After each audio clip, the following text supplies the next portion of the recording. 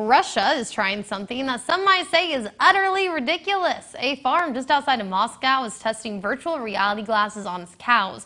If you're wondering why, well, it's an effort to increase the quantity and quality of the milk.